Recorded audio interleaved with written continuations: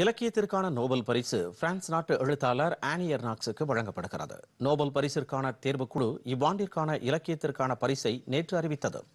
Normandy மாகாணத்தில் உள்ள ஒரு சிறு நகரில் பிறந்து வளர்ந்த ஆனியர் நாக்ஸ் அம்மாகாணத்தின் வரலாற்று பின்புலத்தை ஆராய்ந்து அது குறித்து பல நூல்களை எழுதியுள்ளார். லாப்லாஸ் என்ற நாவல் மிக பிரபலமானது.